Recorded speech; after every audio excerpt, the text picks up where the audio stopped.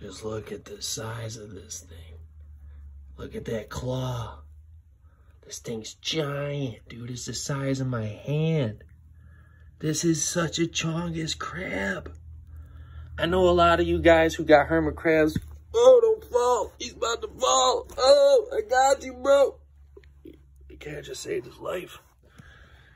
That's like jumping off the towers, bro. You crazy. But I know a lot of you like to rock with the little crabs. You know what I'm saying?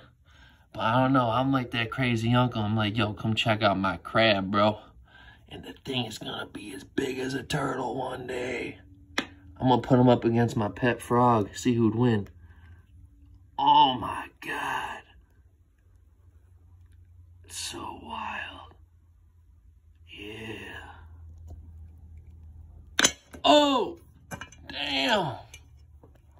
Heavy mother sucker. About to break the glass.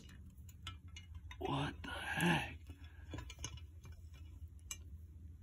Yeah, yo, that thing's like the size of my hand. This is crazy. I don't know what I got for a size comparison, like a quarter or something. So like, here's a crab, and then here's a water bottle. How does that look for comparison? See?